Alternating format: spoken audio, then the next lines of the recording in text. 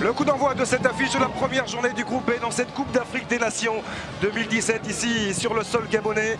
Dans ce stade de Franceville, l'Algérie entre en lice face euh, au Zimbabwe. Attention, l'intervention euh, manquée derrière, ça peut faire mal. Avec euh, beaucoup de possibilités dans le couloir gauche d'accélération. Le retour de Ketiura, la deuxième fin pour éliminer Atlan Ketiura et l'arrêt de Raïs Mboli déjà décisif. Il a fait la différence en tout cas face à Ketiura, il a été joué en deux temps celui-ci. C'est repoussé de la tête par Belkiter, la tentative. Oh, c'est le poteau Le poteau qui vient sauver Raïs Mboli sur cette merveille d'inspiration de la part de Kamabiat. Ce, ce, renvoi, on le voit, Daïsa Mandi mal dégagé et Kamabiat d'une spontanéité incroyable. Ouais, ça a été joué rapidement cette fois-ci. Billiard qui ressort le ballon euh, offert à Islam Simani qui peut contrôler. Et il a senti bien sûr l'arrivée de Riyad Mahrez. Mahrez qui a un petit peu d'espace euh, face à lui. Riyad Mahrez dans la surface de réparation. La frappe Riyad Mahrez Et le petit bijou qui nous est offert par le milieu terrain de Leicester. Le ballon d'or africain qui vient montrer la voie au fait à zéro pour l'équipe nationale algérienne. Et quel chef-d'œuvre ça c'est un bon ballon euh, axial avec euh, la remise qui va fonctionner la frappe L'égalisation L'égalisation des joueurs de Calisto Pazoua sur cette frappe euh, parfaitement placée de la part de Mahachi. Un but partout entre l'Algérie et le Zimbabwe. les Zimbabwéens qui récupèrent le ballon. Et Biliat qui a pu trouver une solution axiale. La frappe de Biliat. Ils utilisent bien la largeur du terrain. 400D qui oriente bien le jeu. À Ben oh dépassé, dépassé euh, Mokhtar Belkiter et le point de penalty désigné par Monsieur Wayesa.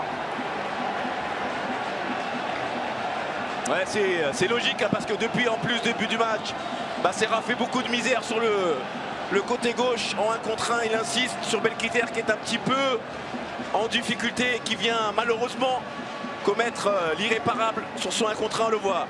Il est sur ses appuis à un moment donné justement. Il faut que Belkiter puisse s'arrêter euh, et, ne pas commettre la faute. Il n'a pas eu le soutien nécessaire aussi de la part de Riyad Mahrez. Vous voyez un petit peu la, police. Monsieur Wayessa, l'arbitre central éthiopien. Et ben Zera, c'était pas la première fois hein, qu'il venait faire la différence dans son couloir. Il va falloir euh, travailler peut-être un petit peu plus défensivement dans les couloirs algériens. Mouchekoui face à Raïs Mboli. Ouais, le contre-pied. Le Zimbabwe qui prend l'avantage. Il faut amener du soutien, c'est ce que fait Soudani derrière. Le centre de Barès qui a été touché. Oh, attention, ils ne se sont pas parlé avec son gardien Moukourova. Le centre de Mefta, la remise de la poitrine, c'est bien fait pour Yassine Brahimi. Qui... Euh, Riyad Mahrez, alors qu'on a revu effectivement au passage cette main, mais attention à, garder l'équilibre défensif pour les Algériens. parce que Beliati peut faire la différence en contre face à Issa Mandi, le deuxième crochet. Là aussi, oh, quel arrêt L'arrêt de grande classe de Raïs Mboli qui permet à l'Algérie de rester dans ce match. Quel travail encore de Kamabiat.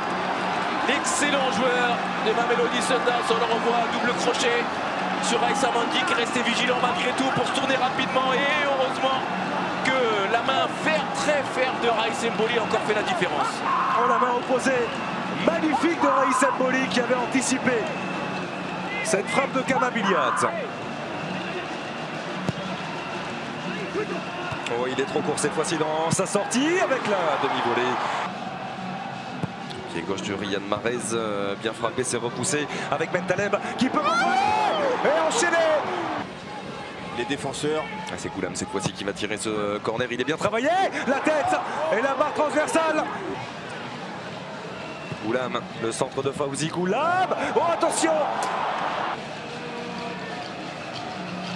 Arrête qui a Brahimi devant lui. Le voici servi Yassine Brahimi. Le bon déplacement d'Islam Slimani dans la surface. Slimani, la frappe au premier poteau. Ce sera juste à côté. Dans un premier temps à 2 à 2 pour les Algériens tout en restant rigoureux défensivement évidemment.